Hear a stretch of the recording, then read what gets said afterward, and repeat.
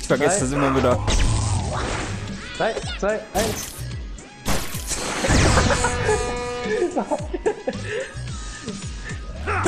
Entschuldigung. Was machst du?